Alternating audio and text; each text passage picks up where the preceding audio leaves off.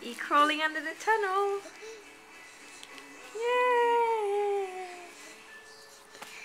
Yay! Boy. Okay. You're gonna come through the other way.